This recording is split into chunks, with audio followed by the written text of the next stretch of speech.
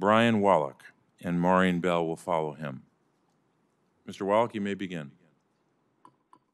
Chairman Casey and Ranking Member Braun, thank you for the opportunity to testify today.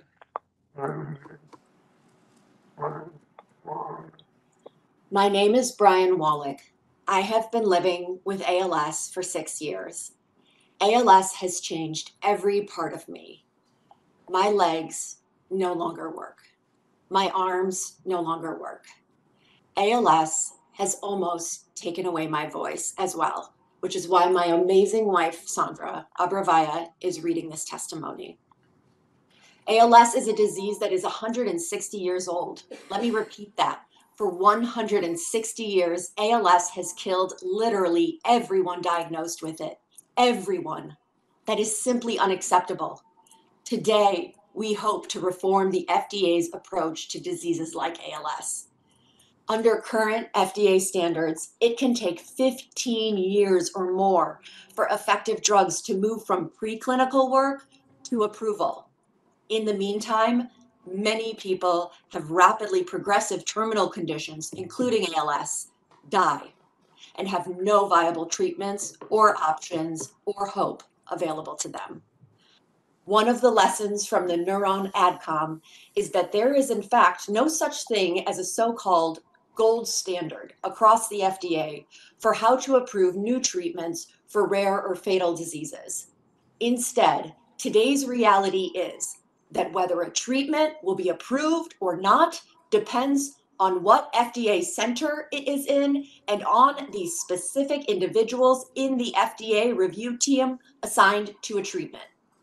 A second lesson is that the existence of the 2019 FDA guidance is simply not enough to ensure uniform approval standards of new treatments for ALS we very, very unfortunately learned this lesson the hard way just a few weeks ago during the AdCom for NurOwn, when the question presented to the AdCom did not incorporate the FDA's own 2019 guidance about regulatory flexibility.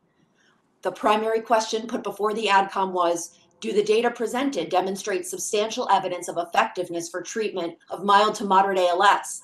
this question did not at all make reference to the 2019 FDA guidance that stated, quote, when making regulatory decisions about drugs to treat ALS, FDA will consider one, patient tolerance for risk, two, the serious and life threatening nature of the condition, and three, also within the context of statutory requirements for safety and efficacy. And this, this is exactly why legislation such as the Promising Pathways Act is absolutely critical for people living with ALS. There is no FDA approved biomarker for 95% of us living with ALS. What is the result of that? The result is that treatments for 95% of people living with ALS, including Brian, do not qualify for accelerated approval. The Promising Pathways Act addresses this issue by creating provisional approval. The Promising Pathways Act is also building the infrastructure to require drug sponsors to move faster in conducting their phase three trial and giving the FDA the authority to remove provisional approval if additional data makes clear that that is merited. We support efforts to bring safe, promising therapies to more people living with terminal diagnosis pending full FDA approval. We also support efforts to increase spending on research into the causes of ALS and potential treatments. But we do not support saying to this generation, thank you for your contribution to research. Now go home and prepare to die.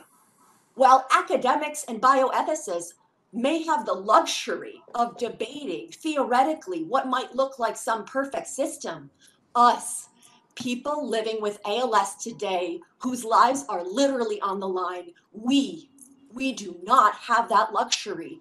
And we are looking to you to provide them with the hope that they can live a little bit longer and maybe even be here to see a cure for ALS. The key here is that PPA approval is merely provisional. It affords early access to promising drugs to people with extremely serious conditions who are willing to take risks.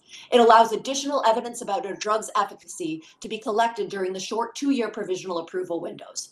Provisional approval can occur only if a drug has been shown to be safe, and required patient registries enable much broader data collection about a drug's efficacy and safety than can even occur in traditional clinical trials.